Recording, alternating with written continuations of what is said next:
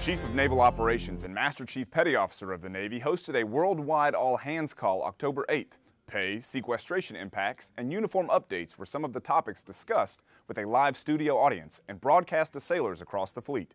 Sailors from various commands and deployed ships throughout the world were able to ask their questions via satellite and social media. CNO's opening statements talked about the importance of being an all-volunteer Navy. It's the 40th anniversary of the all-volunteer force. That's our asymmetric advantage. That's what makes you, all of you, and all of you who are out within the sound of my voice different from any other Navy in the world. It makes you the finest Navy in the world. From the Defense Media Activity, I'm Petty Officer Andrew Johnson.